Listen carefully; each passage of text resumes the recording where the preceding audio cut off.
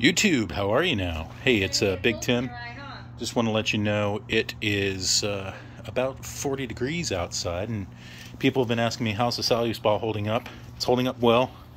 Got to clean the cover here in a couple days, but uh, about 40 degrees outside.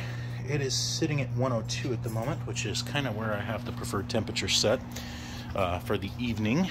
It is uh, fall, and the leaves are everywhere.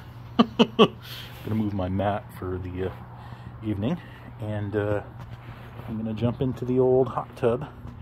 And uh, just to kind of review people, it has been, um, I would say now, about a month and a half since I've got this. Actually, it might be a little longer than that. Um, sorry, the leaves are everywhere. it's just been falling.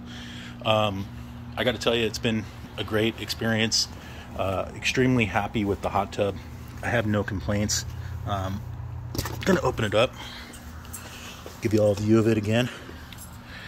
Um, some people have asked me, you know, hang on just a second here, magic YouTube. So, like I said, people have been asking me, um, you know, variety of questions. Um, how's the hot tub been in the winter? And I don't have super ice cold temperatures yet, but I think 40 degrees is pretty dang chilly. Um, somebody asked me, how do you use your control panel here? Um, and they were having difficulty with it. So just kind of as a recap, you have to press and hold this lock button, and then that allows you to activate your features like your bubbles. Voila, Z bubbles. Um, actually not going to run those too much this evening. Um, some people have asked me about chemicals, and quite frankly, they're they're super easy. I think.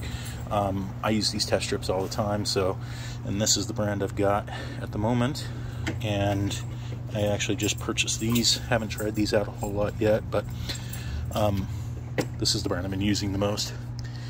Um, anyway, it's been absolutely fantastic. You can kind of see the steam coming off of it. Somebody said your water looks green. It's not green, folks. There's a green and blue at the bottom here of the tub, and it reflects off and makes it look like it's kind of green. So it's not. Anyway, um, I'm going to do my chemical treatment here. So we're going to do a little anti-foam. And I just, I've got to the point where I don't measure anymore. Just drops them in. It comes to the anti-foam stuff. Because I'm going to turn my bubbles on. Magic YouTube, hang on. We're going to do one scoopful of my chlorine.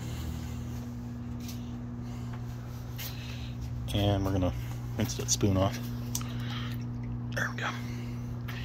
Um, and I think I always like to drop a little pH decreaser. So we're going to drop some of that tonight too. About a half a spoon of that. And then I'll just show you how I test, since some of you have asked, how do we test? So, again, you take one of your little test strips, swish it around in the water. And that's about it right there. Then you look at your test strip and you line it up with your colors. Come on, camera, focus. well, the camera doesn't want to focus, it wants to focus on everything else. Anyway, I'll just uh, show you here. You line it up with your, uh, there you go. And it just tells you whether you're in your safe zone or not. At the moment, I'm pretty safe. I'm going to add a little more chlorine, I think, maybe. It hasn't really mixed in yet, but um, so I'm going to give that a few minutes. But uh, long story short, it's been uh, super easy to maintain. And I think I will put the bubbles on just to kind of mix things up. And that's a good idea anytime you add your chemicals to uh, turn your bubbles on let the mix. Somebody asked me how long does it retain heat for? Uh, again, about, you know, 20 minutes of running these bubbles and I lose about two degrees of heat. Other than that, it's been great. YouTube, uh, follow me, like and subscribe for more videos. Hope you enjoyed this short little video, just kind of updating you on where we're at as far as uh, month and a half time frame. And uh, we will talk to you later. Have a good night.